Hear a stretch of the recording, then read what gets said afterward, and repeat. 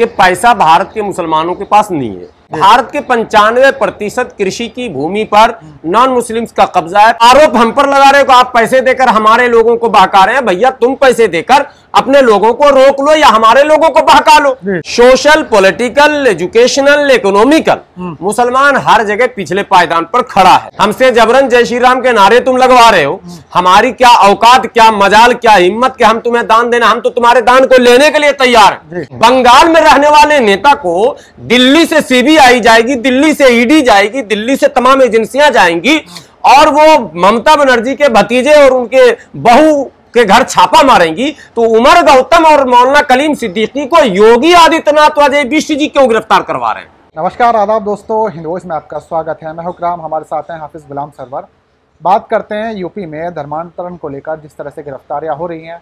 उमर गौतम से शुरू हुआ ये सिलसिला। अब कलीम सिद्दीकी उनके साथी और तमाम तरह के इसमें कई सारे आरोप हैं टी की तरफ़ से कि अवैध फंडिंग है फंडिंग बाहर से आ रही है, हवाला वगैरह बहुत सारी चीज़ें इसमें निकल के सामने आ रही हैं। एक तरफ़ इस पर बड़े उलमाओं की खामोशी भी है।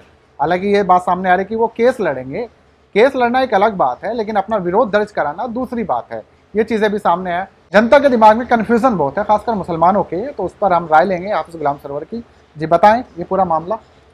देखिए, यो आरोप मौलाना उमर गौतम पर लगे थे या मौलाना कलीम सिद्दीकी पर लगे? जी।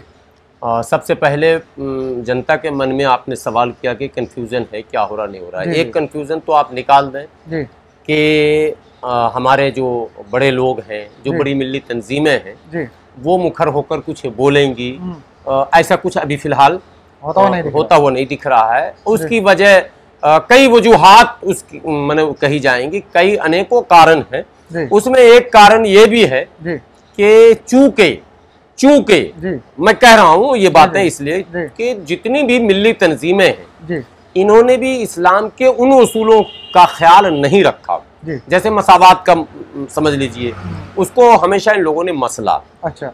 और जो आर्थिक लोभ है जो। माशी लालच है जो पैसे का ये वो इन मिली तंजीमों के सरबराहों में भी दिखा। एक उदा मिसाल भी दरमियान में दे दूँ आपको पता है पटना इमारत शरिया का जो मसला है वहाँ बिल्कुल इस वक्त लाठी और गोली की नौबत है अमीर शरीयत के इंतखाब में। अच्छा। अमीर शरीयत तीन चार सूबों के अमीर शरीयत होते हैं जी पिछले दो तीन महीने चार महीने पहले जिनका इंतकाल हुआ था हज़रत मौला वली रहमानी उनके जगह पर जो इंतखाब होना है वो इंतखाब हो नहीं रहा वो चुनाव नहीं हो रहा। मुस्तकिल गोली और लाठी की नौबत चल रही है। अच्छा। तो इससे अंदाज़ा लग सकता है कि मुस्लिम जो तंजीमें हैं जो तंजीमें, उनके हालात बहुत अच्छे नहीं है। आम आवाम में ये कंफ्यूजन भी है कि क्या वाकई जो कलीम सिद्दीकी पर या उमर गौतम पर हम्म। आरोप सरकार के द्वारा ये एजेंसियों के द्वारा लगाए जा रहे हैं वो सच है क्या? इस पर मैं एक बात साफ़ लफ्जों में कह दूँ और ये हमारे व्यूवर्स सुनेंगे समझेंगे और दूसरों को भी समझाएँगे। आरोप ये लग रहे हैं कि पैसे देकर हम्म, पैसे का लोभ देकर धर्मांतरण कराया जा रहा। पैसे पर पहले पूरी सफ़ाई ये है ये हिंदू भाई भी हमरे हमारे आसानी से समझ सक जाएँगे कि पैसा भारत के मुसलमानों के पास नहीं है। भारत में मुसलमानों की जनसंख्या 14.2 परसेंट समथिंग 15 परसेंट। दो के जनगणने पर जो सरकार बोल रही वही मैं बोल रहा हूँ। पंद्रह प्रतिशत मुसलमान पचासी प्रतिशत नॉन मुस्लिम से रेस में पीछे है ये भी मैं नहीं कह रहा हूँ। ये भी सरकार कह रही है 2005 के सचर कमेटी की रिपोर्ट में ये कहा गया कि भारत का मुसलमान भारत के अ, तमाम आबादियों में पिछले पायदान पर खड़ा है। अब आप ये समझ लें कि उद्योग में आ जाएँ। वन टू टेन में कोई भी उद्योगपति जो है मुसलमान नहीं है। आप कृषि में आ जाएँ मझौले उद्योग में भी आपको नहीं मिलेंगे। यक्के दुक्के मिल जाएँगे। ठीक है आप कृषि में आ जाएँ। भारत के पंचानवे प्रतिशत कृषि की भूमि पर नॉन मुस्लिम्स का कब्जा है पाँच प्रतिशत कृषि पर ही मुसलमानों का कब्जा है। आबादी पंद्रह प्रतिशत कृषि योग्य भूमि इनके पास या रहने योग्य भूमि पाँच प्रतिशत। आप ये भी देखेंगे कि राजनीति जो कि रोज़गार देने का और आय का एक बड़ा माध्यम बना हुआ राजनीति में मुसलमानों की आबादी पंद्रह प्रतिशत और राजनीति में हिस्सेदारी ढाई प्रतिशत। टू पॉइंट फोर टू कुछ है। यानी वहाँ से भी पैसा नहीं आ रहा है। पैसा नहीं आ रहा। Social political educational economical hmm. मुसलमान हर जगह पिछले पायदान पर खड़ा है। हाँ। तो जो धर्म हम्म, सबसे पिछले पायदान पर खड़ा हो उस धर्म पर यदि आरोप लग जाए कि वो पैसे देकर दूसरों को अपने धर्म में ला रहा तो है। फिर वो क्या है जो तीन करोड़ बता रहे हैं उनके मैं अब बता रहा हूँ। तीन करोड़ ऐसे है जैसे तीन सौ रुपये हम लोग गिनते हैं। अच्छा। वैसे ही होता है। जब बड़ी तंजीमें होती है हम्म। मस्जिद में आप देखते हैं जुमा के दिन आप लोगों के यहाँ है या नहीं हमारे यहाँ जुमा के दिन चंदा होता है। अच्छा। नमाजियों से। हम्म, ये बहुत पुरानी परंपरा पहले दिया बत्ती के नाम पर मेंटेनेंस के नाम पर जुमा के दिन कलेक्शन होता था एक इजी रास्ता ढूंढा नहीं वो अभी भी होता है। अभी भी होता है। एक एक मस्जिदों में जुमा के दिन जो कलेक्शन आता है हाँ। कई ऐसी मस्जिदें जहाँ एक जुमा का दस से पचास हज़ार के बीच जो है कलेक्शन है। बड़ी मस्जिदों की बात कर रहा हूँ मैं। छोटी मस्जिदों में भी आज के दौर में 1500 2000 3000 से कम कलेक्शन नहीं है। मदरसे का भी लगभग यही हाल है। हाँ। तो जो तंजीमें हैं उन्हें मुख्तलिफ़ जगहों से जो ऐड मिलते हैं अब ऐड क्यों मिलते हैं? भाई दान देने से आपको कौन रोकता? पूरे भारत में कोई हिंदू आकर बताए कि मैं दान देने जा रहा था और एक मुसलमान आकर पकड़ लिया कि नहीं खबरदार दान नहीं दे सकते हो। अरे भाई जहाँ सड़क पर हमारा चलना दो बार है। हमसे जबरन जय श्री राम के नारे तुम लगवा रहे हो। हमारी क्या औकात क्या मजाल क्या हिम्मत कि हम तुम्हें दान देना हम तो तुम्हारे दान को लेने के लिए तैयार। तुम दे कहाँ पर रहो हमको एड्रेस पता तो बता दो। तो पैसे तुम्हारे पास है तुम दे नहीं रहे हो। आरोप हम पर लगा रहे हो आप पैसे देकर हमारे लोगों को बहका रहे हैं। भैया तुम पैसे देकर अपने लोगों को रोक लो या हमारे लोगों को बहका लो। दोनों रास्ता मैं दे रहा हूँ। दोनों रास्ते आपके पास ने ना आप रोक पा रहे हो ना आप बहका पा रहे हो ना आप दान दे पा रहे हो। आपका दान जा रहा मंदिरों में और वो केवल एक व्यक्ति विशेष को संपन्न कर रहा हमारा जो जक़ात का सिस्टम है वो सबों के लिए है उन डिप्रेस उन शोषित वंचित पीड़ित। और हाशिए पर खड़े उन भूखे नंगे लोगों के लिए है। उनको रोटी कपड़ा मकान शिक्षा कैसे मिल जाए वो जीने लायक कैसे हो जाए इसके लिए इस्लाम ने जक़ात की व्यवस्था की है। तो दान देने से आपको कोई रोकता नहीं। आप आरोप लगा रहे हैं ये आरोप सरासर गलत बेबुनियाद निराधार अब तीन करोड़ हवाले की बात। हवाले से अगर रकम आई हाँ। लगातार हवाले की बात उठती रही है इस देश में तो जितने भी एजेंसियाँ जिन एजेंसियों को इकोनॉमिकल क्राइम कंट्रोल के लिए जो रखा जाता है। जो। क्राइम अब यह हवाला पर बात फिर नीरज मोदी और मेहुल चौकसी की याद आ जाएगी। ठीक है बैंक का पैसा ले लेकर भाग रहा कौन भगा रहा? भारत के लोगों को जानना चाहिए जानना ज़रूरी है। मुझे नहीं पता। मैं बता करोड़ की ड्रग्स भी आ जाती मैं नहीं बताऊँगा मैं नहीं बताऊँगा मुझे नाम भी नहीं पता है कि नीरज मोदी को किसने भगाया मेहुल चौकसी को किसने भगाया मालिया को किसने भगाया। और अभी जी न्यूज़ का मालिक जो पिछले दो साल से गायब है जी न्यूज़ पर एक प्रोग्राम होता था एक शो होता था जिसमें सुभाष चंद्रा खुद आते थे होस्ट करते थे। वो दो साल से नहीं हो रहा।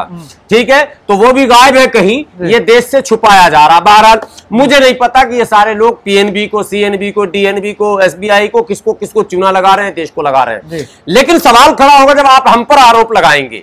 तो हम पूछेंगे कि ये पैसे हम तक पहुँचे कैसे? बीच में कौन कौन था जिसने दलाली की? आसमान से कोई पोल्ट्री तो गिरी नहीं। आसमान से जहाज़ से किसी ने कुछ बैग तो टपकाया नहीं। कोई ड्रॉप करके मेरे छत पे तो भागा नहीं।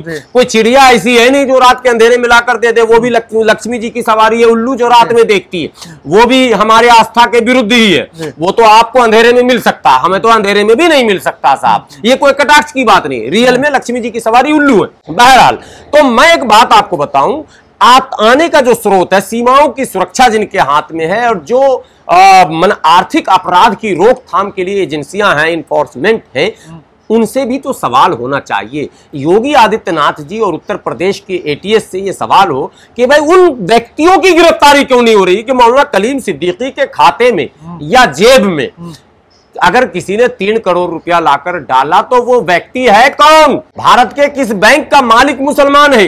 भारत के किस बैंक का एजेंट मुसलमान है? किसने ये कारस्तानी की और अगर किसी मुसलमान ने नहीं की तो फिर उसका नाम भी उजागर होना चाहिए। एक आखिरी सवाल। कि ये जो एजेंसियाँ हैं जो आप मैंने आर्थिक अपराध पर लगाम लगाती हैं ये बड़ी तादाद केंद्र सरकार के पास है। केंद्र सरकार की एजेंसी ममता बनर्जी के भतीजे को पर रेड करने जा रही है। आपको पता है केंद्र सरकार की एजेंसी डॉक्टर हर्ष मंदर पर भी रेड हो रहा। तो उमर गौतम और मौलाना कलीम सिद्दीकी पर यूपी एटीएस का रेड कैसे हो गया? हम्म, वो दोनों ओखला में रह रहे हैं। देश की राजधानी दिल्ली में रह रहे हैं। बंगाल में रहने वाले नेता को दिल्ली से सीबीआई जाएगी दिल्ली से ईडी जाएगी दिल्ली से तमाम एजेंसियाँ जाएँगी।